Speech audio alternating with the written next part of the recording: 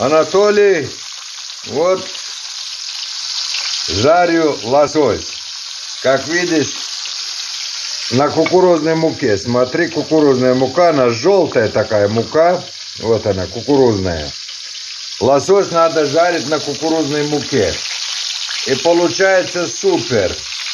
Супер. Вот. На растительном масле. Так что жить можно. Вот.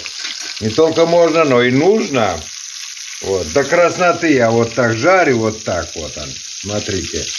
Получается Beh beh beh beh beh. Ne güzeldi. Özüm ölüm ha. Ne güzeldi.